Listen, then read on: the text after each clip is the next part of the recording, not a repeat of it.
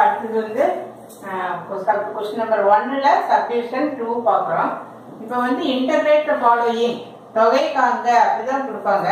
நம்ம தான் இந்த தொகைக்குரிய இந்த குறியீடை போட்டுக்கணும். இந்த மாதிரி நம்ம தான் போட்டுக்கணும்.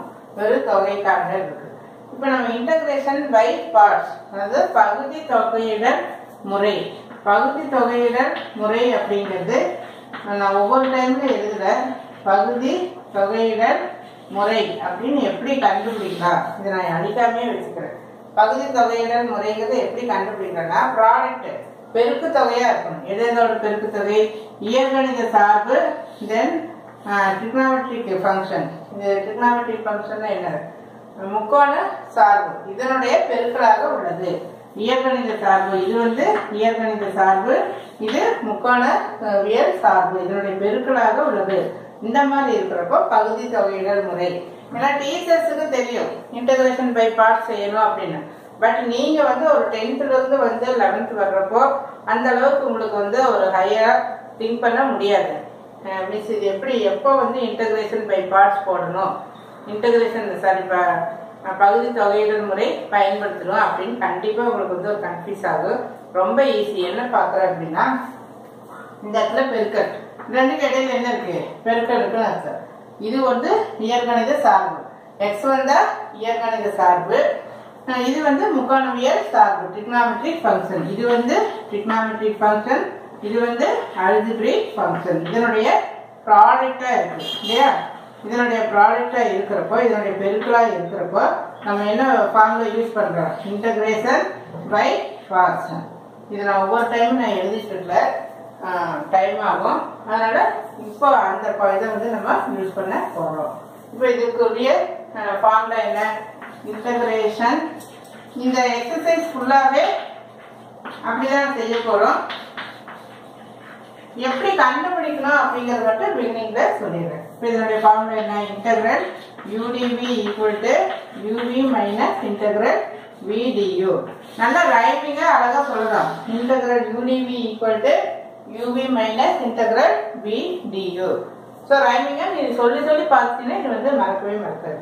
ஸோ எதை நான் யூன்னு வச்சுக்கணும்னு சொல்லியிருக்கிறேன்? இயற்கணித சார்பு. இதெல்லாம் எதுவுமே நினைக்க வேண்டாம் எக்ஸ் எது வருதுன்னு பாரு அதான் யூ இங்கே எக்ஸ் வருதா? அப்புறம் இமீடியட்டா நம்ம எதை என்ன வச்சுக்கிறோம்? யூன்னு வச்சுக்கிறோம். ஸோ யூ சமம் எக்ஸ் எங்க அப்புறம் இமீடியட்டா நீ என்ன எழுதிடுற? Due எழுதிடுற. So d u equal to d s இது அப்படியே ஒரு ஓரமாக போட்டு வச்சுக்க இல்லை பிகினிங்லேயே கூட நீ போட்டுக்கலாம். மீதி என்ன சொல்லாதது வந்து இப்போ யூவை சொல்லிட்டோம். இன்னும் சொல்லாதது? இது இதுவும். இதுவும் இப்போ integral D V equal to integral இப்போ எக்ஸ் சொல்லிட்டோமா? இன்னும் சொல்லாதது? இதுவும் இதுவும் இதுவும். மீதி அப்படியே இருக்கு. So integral sine three x d x so this is p equal to இது என்ன ஆயிடும் கேன்சல் பண்ணுற மாதிரி நினச்சிக்க. ஸோ பி ஈக்குவல் டு சைனுக்கு என்ன கண்டிப்பாக மைனஸ் வரும். டிஃபரன்சியேஷனில் மைனஸ் வராது. வகையில் வகையில வந்து மைனஸ் வராது. ஆனா தொகையில மைனஸ் வரும். ஸோ மைனஸ் சைனுக்கு வந்து காஸ் த்ரீ பை த்ரீ ஏன் பை த்ரீ போடுறோம் அப்படின்னா தொகைப்படுத்துகிறப்போ தொகைப்படுத்துறப்போ இன்டகிரே இன்டகிரேஷன்ல இந்த இதை திரும்ப மாதிரி டிஃபரன்ஷியேட் பண்ண முடியா அப்ப நம்ம என்ன பண்ணணும்? பை த்ரீ போடணும். சில ஸ்டூடெண்ட்ஸ் ஏன் பை த்ரீ போடுறாங்க? அப்படின்ட்டு இருக்கோம். இந்த இப்ப வெறும் சைனஸ் இப்படி இருந்திருந்தா நம்ம என்ன இந்த மாதிரி இருந்தா என்ன எடுக்கிறோம் மைனஸ் காசு அப்படின்னு சொல்லி சமம் முடிச்சிருக்கோம் ஆனா எக்ஸை தவிர ஏதோ நம்ம நம்பர் வந்துருச்சு.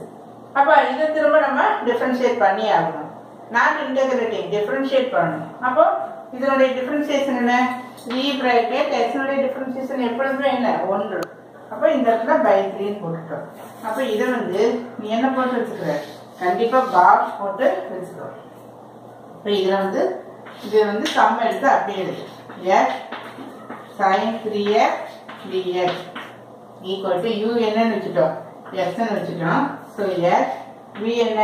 Minus cos three x by three minus integral எப்பவுமே வி வந்து ரெண்டு டைம் எழுதணும். இங்கேயும் எழுதணும் இங்கேயும் எழுதணும். So minus cos three x by three into d x sorry d u டிக்கு பதிலாக என்ன இருக்கு? டிஎக்ஸ் அப்படின்னு இருக்கு. So that is equal to minus x by three cos three x minus இருக்கு. மறந்துட வேண்டாம். இந்த மைனஸ் மைனஸ் என்ன ஆயிடும் ப்ளஸ் ஆயிடும் இந்த த்ரீயை வெளியில் எடுத்துட்டு so integral cos three x d s எப்பொழுதுமே இது திரும்ப இன்டகிரேஷன் கண்டுபிடிக்கணும். That is தொகைப்படுத்தணும். ஸோ இந்த இடத்துல cos three x plus one by three காஸ்னுடைய இது ஒரு சைன் மைனஸ் எல்லாம் வந்துடாது டிஃபரன்ஷியேஷன்ல தான் காசுக்கு மைனஸ் வரும். தட் இஸ் வகைப்படுத்துறப்போ மைனஸ் வரும் தொகைப்படுத்துறப்போ மைனஸ் வராது. இங்கே த்ரீ எக்ஸ் போட்டுட்டு இந்த இடத்துல பை த்ரீ இந்த இடத்துல மறக்காமல் ப்ளஸ் த்ரீ போட்டுக்கணும். ஸோ முதல்ல ப்ளஸ் வரது ஃபர்ஸ்ட் எழுதிக்கலாம். So one by nine sine three x minus x by three then cos 3x plus 3. So the answer for this. So this one is corrected. இந்த by three வந்து நம்ம இந்த இடத்துலயே நம்ம எழுதிக்கலாமா சரி கரெக்டாக தான் so the answer is correct thank you